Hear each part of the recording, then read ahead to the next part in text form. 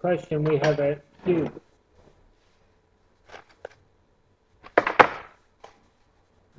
So we have a cube. I always find the diagram a huge help in these questions.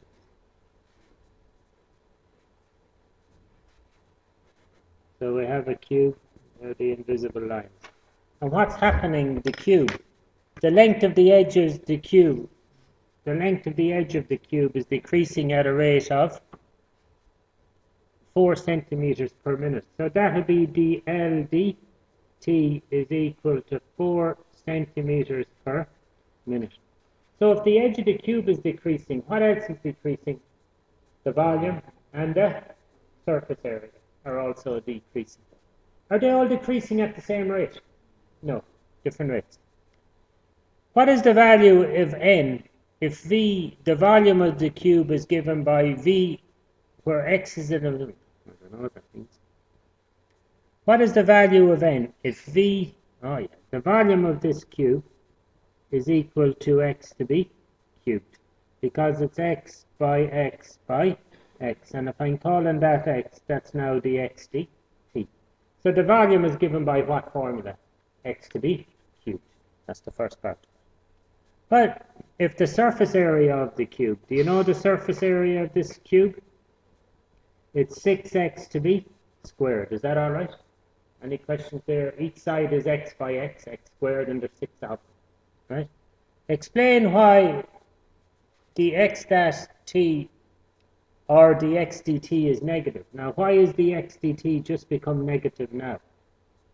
Because it's decreasing. Find the rate at which the volume of the cube is decreasing. So what am I asked to find? dv dt. Is that okay? dv dt is dv d something by d something dt. Any questions? So I've changed what I've been asked to find into a what?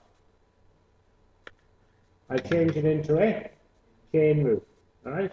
And why did I change it? They're all all these are are just chain rules. What have you got to do? You've got to find the chain rules so you do. Alright?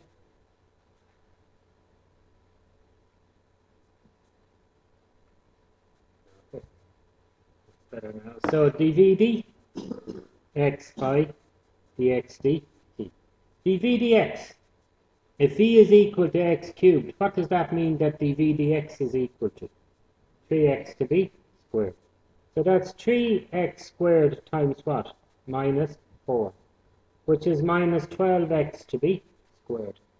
dv dt centimeters cubed per minute. Now, in order to work out that, they have to tell me what x is. Do they tell me? At x equal to 10, that's minus 12 times 10 to the squared, which is 100 minus 1,200 centimeters cubed per minute. That's the rate at which the volume is going down. The rate at which the surface area is also decreasing. That's V. That's V ADT. How will I work out the ADT? It's a chain rule. It's the AD something by the something DT. What will I put into this one? dx is, well. The ADX differentiate that?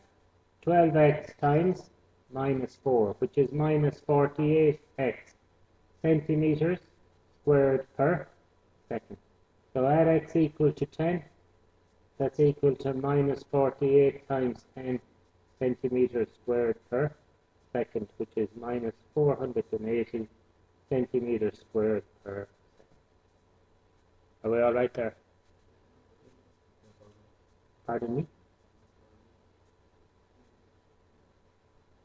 I thought these were given in centimeters.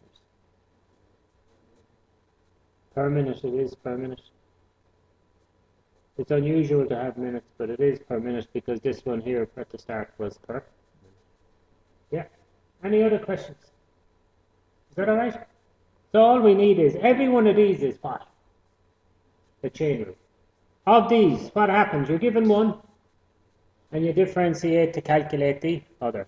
Now you'll need that when you get to the harder